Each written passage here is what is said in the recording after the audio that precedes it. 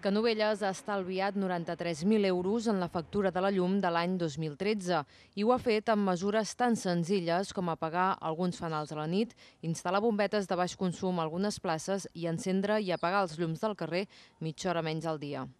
Arriba un moment que en una situació de crisi com l'actual s'ha d'organitzar també al nivell econòmic. I el que hem de fer és reduir la despesa ordinària, perquè la despesa extraordinària i les inversions pot tenir altres possibilitats de poder-la pues, pagar, però la despesa ordinària no.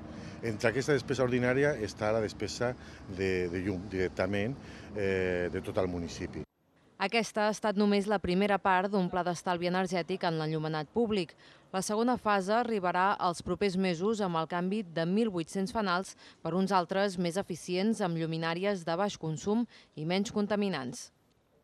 Tindrem una bona, eliminació, una bona il·luminació, tindrem també pues, eh, un, un respecte per el medi ambient i, per altra banda, estalviarem de la despesa corrent del nostre Ajuntament que podrà permetre pues, fer altre tipus d'activitats que en aquests moments són molt, molt necessàries.